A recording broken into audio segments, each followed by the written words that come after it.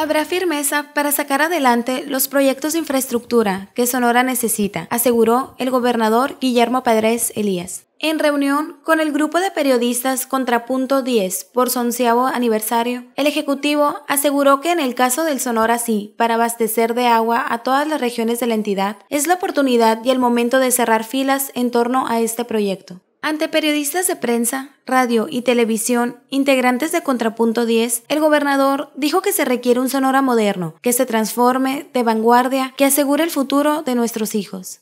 Quiero de antemano hacer un reconocimiento a Contrapunto 10, felicitarlos por esos 10 años de estar conviviendo juntos, de compartir la noticia estatal, de hacer sus aportaciones en cuanto a su punto de vista en cada una de las acciones que llevan a cabo todos los partidos políticos y todos los gobiernos.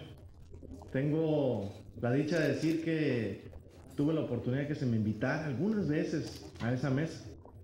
Y la verdad es que en esa mesa tuve diferentes experiencias.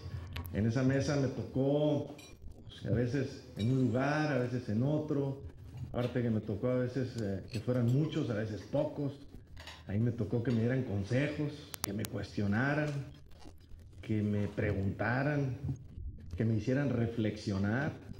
Lo que sí nos queda a todos claro es que no podemos dejar pasar el tiempo ni dejar pasar el momento en el que podemos cerrar filas todos para sacar un proyecto histórico.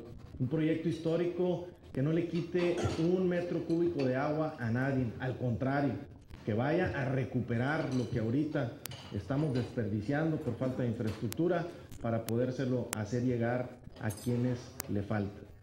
Sí les digo que con firmeza defenderé a los sonorenses que menos tienen y defenderé el que se lleve a cabo la infraestructura que necesitamos para que el Estado sea un Estado moderno, que se transforme y se convierta, pues, como les decía ahorita, en un Estado de vanguardia.